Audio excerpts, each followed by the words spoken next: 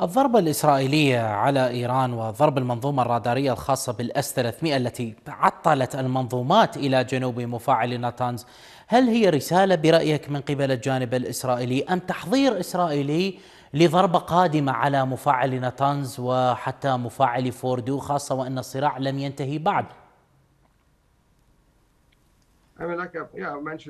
آه نعم كما ذكر آنفا هي إشارة بأن لديهم القدرات ولديهم القدرة على القيام بها.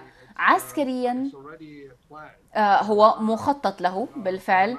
آه وحقيقة الأمر أنا أعتقد بأن هناك خطة متبادلة ما بين قوات الدفاع الإسرائيلية والولايات المتحدة عسكريا حول كيفية تدمير القدرات النووية هناك. إذا تذكرنا في يناير 2023 فإن الولايات المتحدة وإسرائيل أجريتا أكبر تدريب عسكري في التاريخ وكان معنيا بعديد من الطائرات الشبح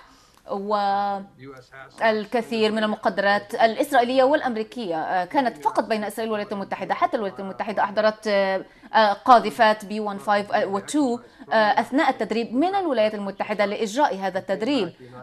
ثم عادت أدراجها إلى الولايات المتحدة. السيناريو عند ذاك كان قائما على ضربة عميقة ضد أهداف عميقة استراتيجية. بإمكانك أن تتخيل أين هي الضربات العميقة والأهداف الاستراتيجية. فإذا هذه الخطط موجودة وهي مركونة على الرف وتم التدريب عليها عدة مرات.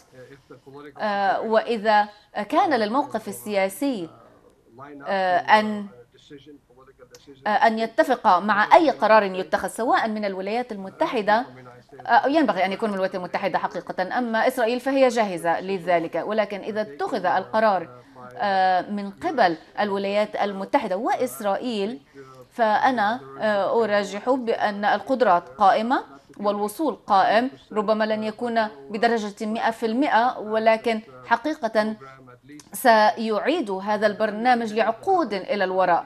آه، ولكن هذا موجود في إيران. المعرفة موجودة وهذه المعرفة لا تستطيع أن تدمرها فإذا يمكن أن تتعافى في عقد أو عقدين من الزمان. آه، ولكن بإمكانهم إبطائه لعقد من الزمان على الأقل.